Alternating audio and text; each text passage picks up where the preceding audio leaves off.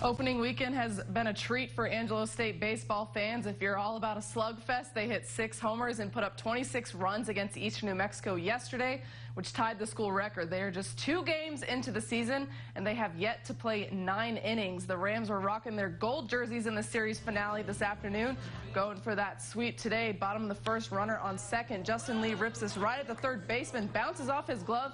Thomas Kane going to third. It's overthrown, so Kane will race on home and Lee's going to end up at third off of the error. ASU up one to nothing, just like that. Skipping ahead to the bottom of the fifth now, two nothing. ASU Lee up with two on. Smacks this to right to short. Kane in trouble. He would be out at second. Jordan Williams at third slides on home to give ASU a three to nothing lead. Now the bases juice later in the inning for Brad Mathewitz. Can he get a grand slam for them? He knocks this way out to left center field. That goes off of the wall. Mathewitz clears the bases, and he's got himself a triple to give ASU a 6-0 lead. They'd go on to run rule Eastern New Mexico, winning 10-0 in seven innings. They outscored the Greyhounds 46-4 in the series.